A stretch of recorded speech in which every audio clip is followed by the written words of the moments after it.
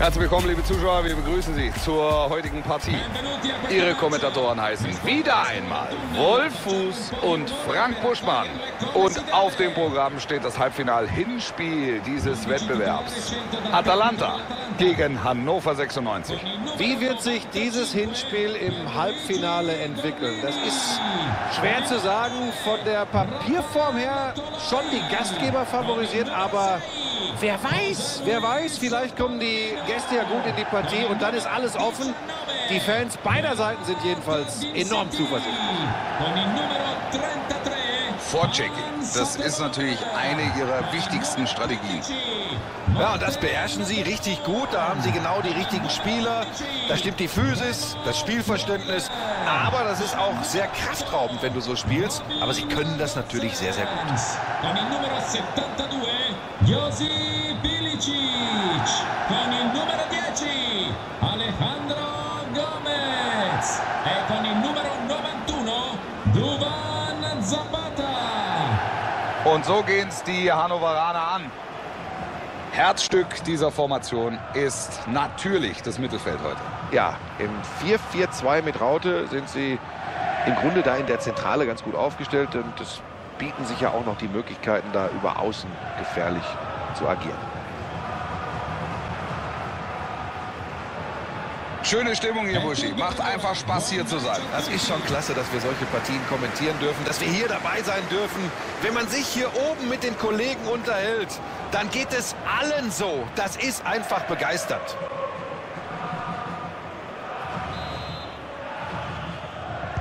Los geht's. In diesem Halbfinale auf dieses Spiel haben sie alle gewartet. Ein Schritt noch, dann ist das Finale erreicht. Es geht um Nervenstärke.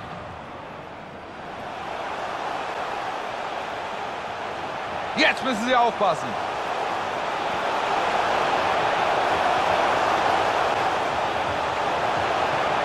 Ja, der Schuss jetzt.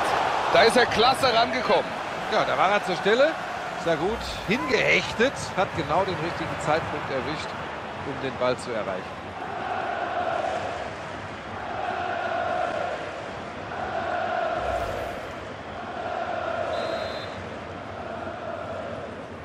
Eine kurze Ecke. Es gibt einen weiteren Eckstoß. Wie schätzt du Alejandro Gomez heute ein, Buschi? Er ist ja auf jeden Fall ein überragender Spieler. Und er war ja im letzten Spiel gleich doppelt erfolgreich, wenn wir uns mal kurz erinnern.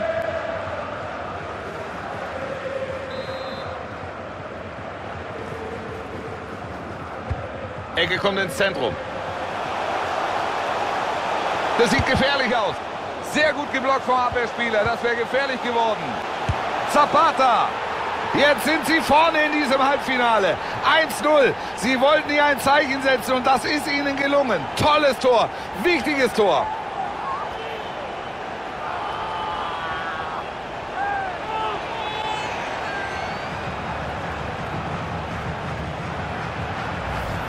Wir sehen die Wiederholung dieses Tores. Der Ball geht im kurzen Eck ins Netz. Da wird sich und muss sich der Torhüter ärgern.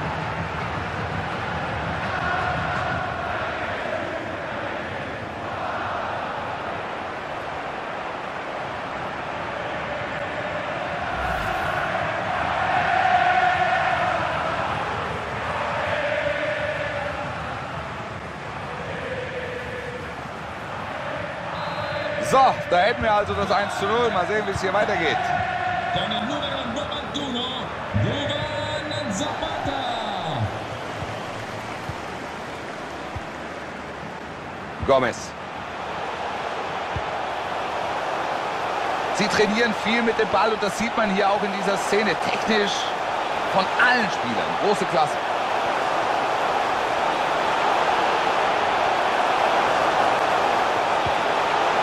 Chance muss flanken. Schön gemacht. Jetzt die Flanke. Harter Schuss, aber Ball geht neben Tor. Knappe Angelegenheit. Also da hat wirklich nicht viel gefehlt.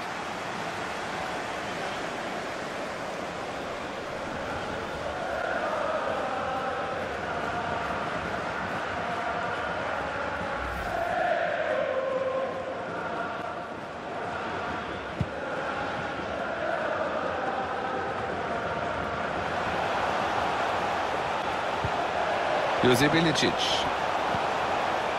Alejandro Gomez mit dem Ball. Jetzt könnte er den Ball reinbringen.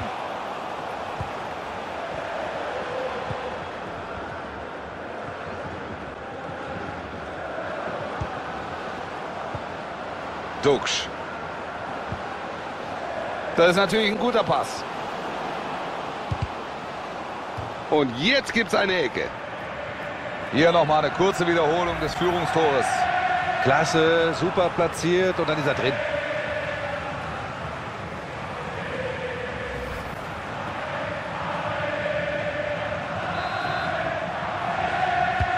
Ecke kommt in den 16er.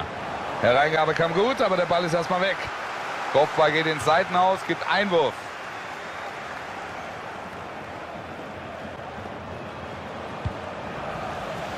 Da verlieren sie den Ball. Da haben sie jetzt Platz.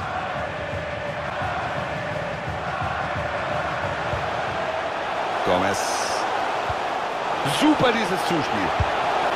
Kein Tor. Da lassen sie eine gute Chance liegen, sich hier weiter abzusetzen. Ja, das wäre wichtig gewesen. So bleibt es erstmal weiter spannend. Ich glaube, diese Szene ärgert sie.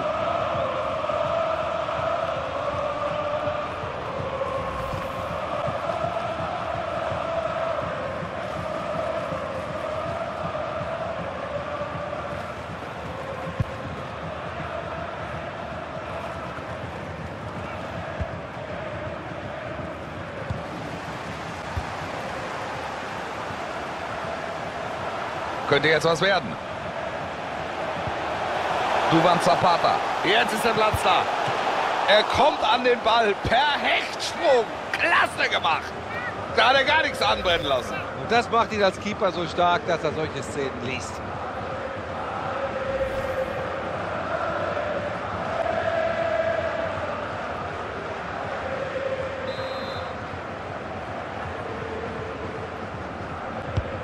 Die Ecke kommt. Da können sie erst mal klären.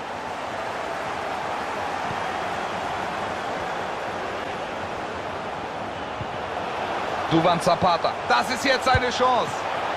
Gehalten. Oh, eine ganz starke Szene. Eine tolle Parade.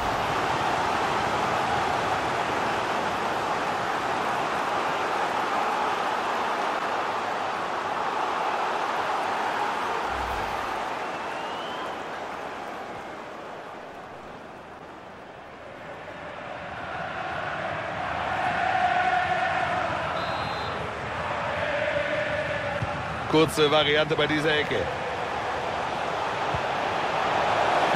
Gute Chance.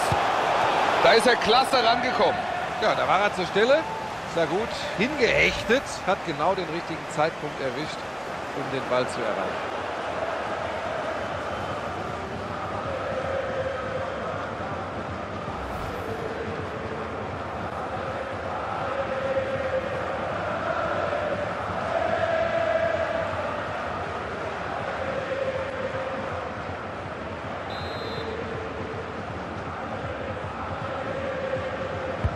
So, Ecke kommt.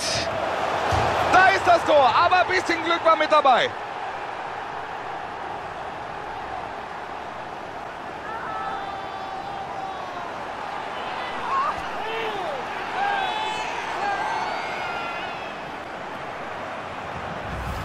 Hier ist dieses Tor nochmal. Sie bringen die Ecke rein und dann ist er stark. Unwiderstehlich, wie er da mit dem Kopf zum Ball geht. Und dann ist der Treffer nicht mehr zu verhindern. Nochmal der Treffer, diesmal aus einer anderen Perspektive.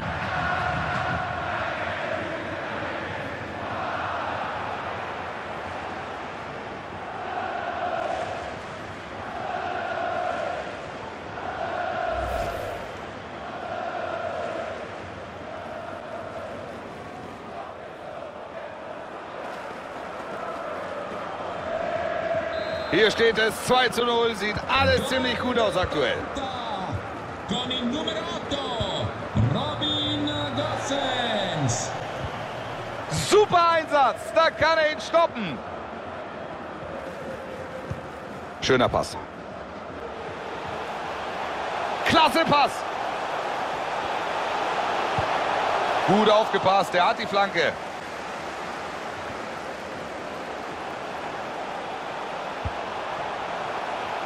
in den freien Raum.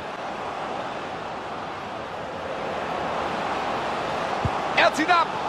Was für eine Parade. Riesenszene, ganz stark gemacht.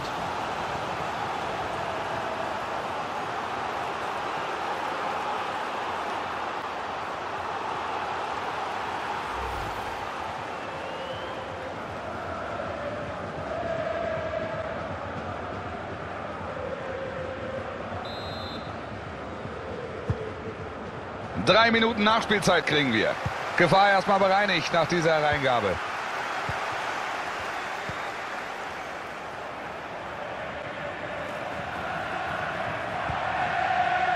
Gomez.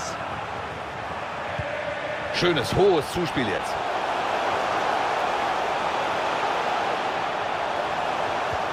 Da haben sie gut aufgepasst. Wir haben erst 45 Minuten gesehen, aber die Tendenz ist leider schon recht eindeutig. Ja, bisher geht bei ihnen nicht viel. Folgerichtig liegen sie auch hinten. Wenn sie so weitermachen, ist die Finalchance schon äh, vor dem Rückspiel da hinten.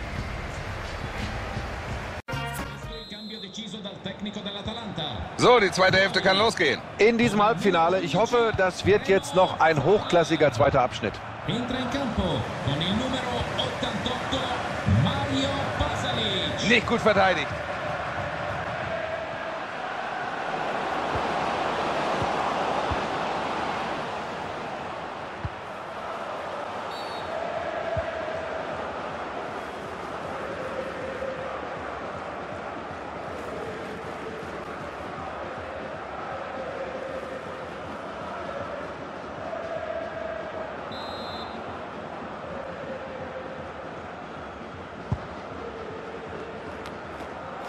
Mario Pasalic. Gomez. Klasse, er lässt den Verteidiger stehen. Nur noch der Torwart vor sich. Er kann abwehren, aber der Ball weiter im Spiel. Ballgewinn, gefährliche Position. Die Gefahr erstmal bereinigt. Aber die Parade davor, die war klasse. Und jetzt wissen sie, bei wem sie sich bedanken dürfen. Das könnte was werden jetzt. Den Ball spielt er raus. Was macht er draus? Da muss mehr kommen, Freunde. So wird das sicher nichts mit dem Tor.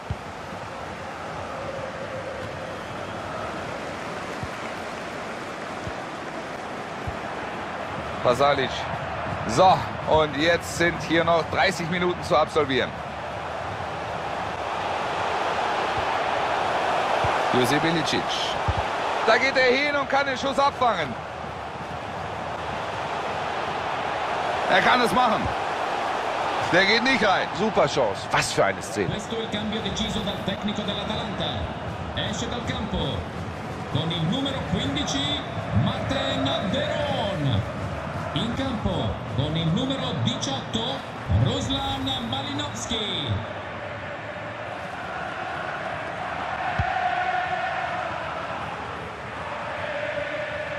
Sie verlieren den Ball.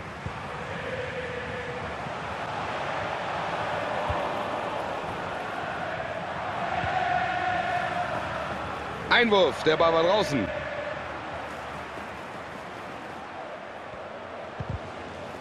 Klar, gibt Einwurf. Jetzt wird er ausgewechselt und das war heute eine überzeugende Vorstellung.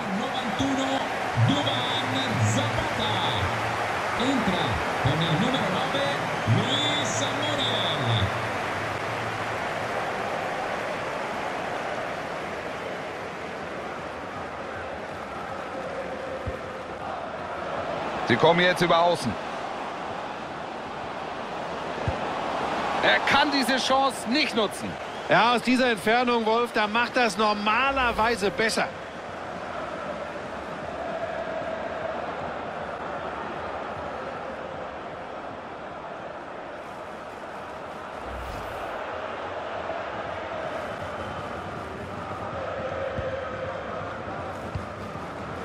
Palomino. Ruslan Malinowski. Rafael Toloi. Die kurzen Pässe jetzt, sehr ballsicher sind sie da. Sie haben natürlich auch die Führung im Rücken. Klasse Aktion da. Sie haben Platz.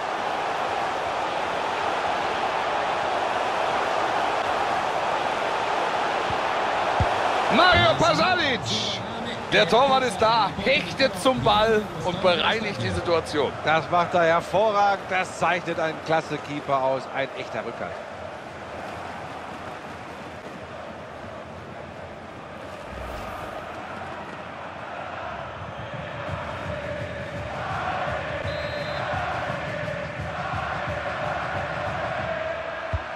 So, Ecke kommt. Kompromisslos geht er dahin. Das ist das Tor. Mit dem Kopf hat er es gemacht.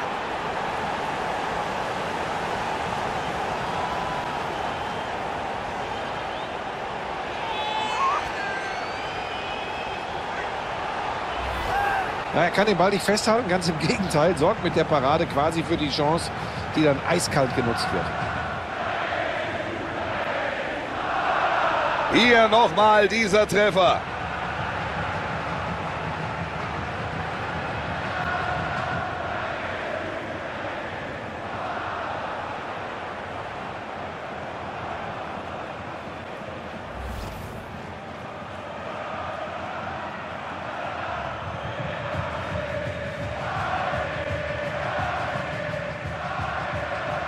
Das wird heute wohl nichts mehr für sie. Das Spiel ist fast vorbei.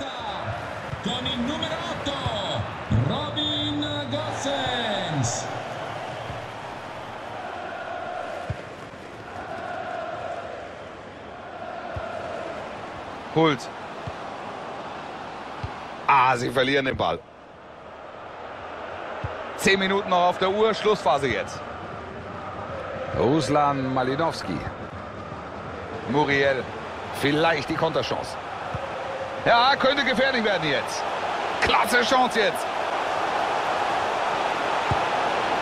So eine Chance musst du eigentlich nutzen. Ah, ich weiß auch nicht, das war am Ende gar nichts. Den Konter müssen wir loben, aber den Abschluss, naja, den sollten wir schnell vergessen.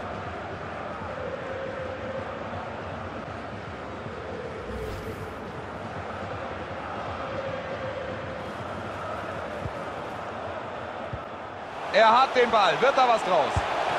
Super gehalten. Ui, was für eine Parade. Wahnsinn, wie er den noch hält.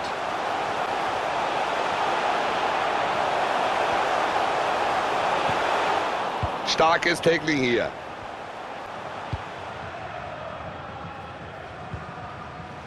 Suleimani. Dominik Kaiser. Jetzt der Vorstoß. Bringt den Ball jetzt an den kurzen Pfosten. Macht er ihn! Ja, er macht ihn! Ganz aufgegeben haben sie sich noch nicht offensichtlich. Sie erzielen hier zumindest noch den Ehrentreffer.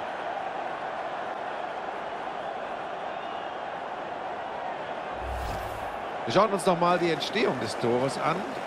So, da ist der Konter. Und dann sehen wir, wie gut das wirklich gemacht ist. Vor allem, wie ruhig das gemacht ist. Aber ganz ehrlich, aus der Distanz muss er den eigentlich auch machen.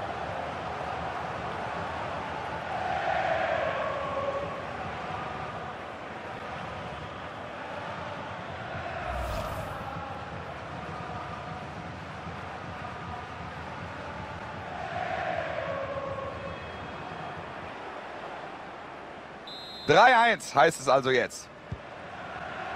Viel bringt ihnen dieser Ehrentreffer natürlich nicht mehr, aber immerhin, das Ergebnis sieht ein bisschen freundlicher aus. Ja, Wolf, das ist ein schwacher Trost für die Fans, aber ganz ehrlich, heute war nicht mehr drin.